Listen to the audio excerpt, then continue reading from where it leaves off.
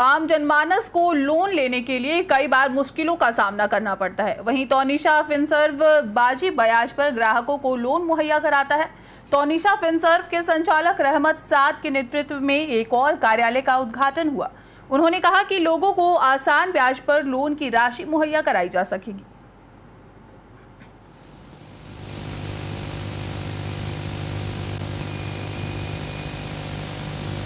है ये किस चीज़ की कंपनी है? क्या मोटर नमस्कार दोस्तों, ये तोनिशा फिनसर प्राइवेट लिमिटेड कंपनी है। ये अभी हम लोगों ने इनोग्रेट किया है।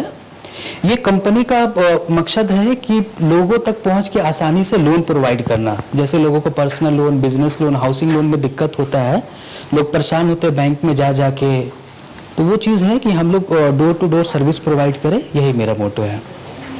और ये कंपनी कब से चल रही है? मेरे ख्याल से ये दूसरा ऑफ़िस है। ये मेरा दूसरा ऑफ़िस है। मेरा अ, 25 सितंबर 2018 को तौनिशा कंसल्टेंसी सर्विसेज़ करके और एक ऑफ़िस है। ये तौनिशा फिनसर्व अभी हम लोगों ने सिर्फ़ लोन के लिए बनाया है। कंपनी है ये